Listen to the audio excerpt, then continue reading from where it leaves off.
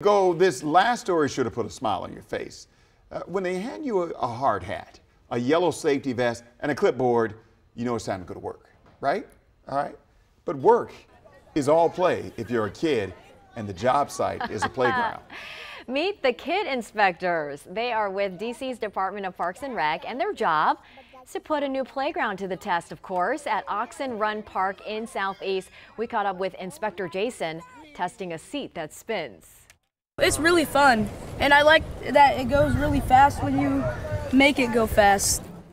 Make it go fast, right? Sounds good to us, Jason. Uh, DC Parks and Rec says the park passed the test. Mm. Excellent. I needed that job when I was a kid. Right. That would have been great. They're really Go taking it seriously. I love that.